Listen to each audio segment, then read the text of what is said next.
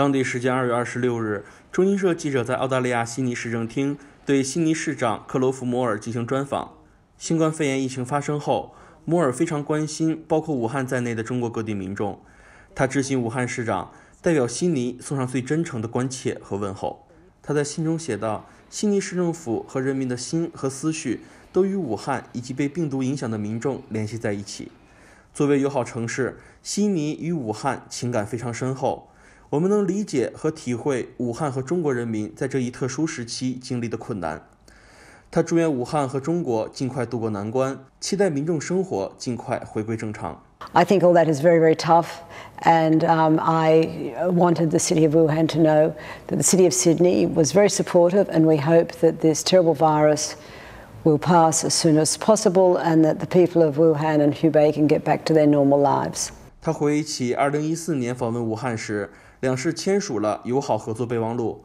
第二年，双方在悉尼签署建立友好城市的协议，正式结为友好城市。And I was also very impressed that the city of Wuhan um, wanted to become known as China's most sustainable city and also become known as a trans transport hub.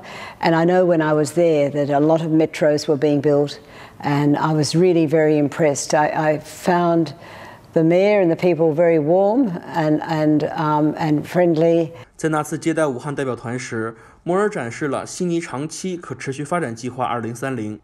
他发现武汉的可持续城市发展理念与悉尼不谋而合。新冠肺炎疫情发生后，摩尔在市议会发表题为“让我们与武汉人民团结一致”的讲话，表达对中国人民遭受新冠肺炎疫情袭击的同情，呼吁澳医疗物资生产企业向中国提供支持。呼吁民众冷静客观看待疫情。他说，疫情对国际旅行、贸易和世界经济的影响逐步显现，而最让人担忧的影响是紧张和恐慌。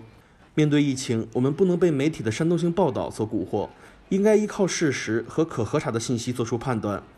悉尼市将继续提高警惕，及时公布应对疫情措施，并坚决反对各种不实、夸大之词以及由此引发的侮辱、歧视性言行。对于武汉市在这次疫情中所付出的努力和做出的牺牲，摩尔给予高度评价。We also know how hard it must be to deal with something like a virus spreading when you have so many people to look after, so many people um, to try and keep indoors. I just can't imagine the, the streets of Wuhan being empty.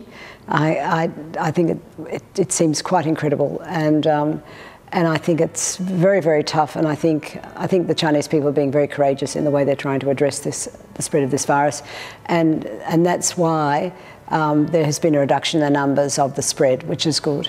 Um, and, uh, and and it's now something that other other countries and other cities are having to deal with. 更多精彩尽在中国新闻网客户端。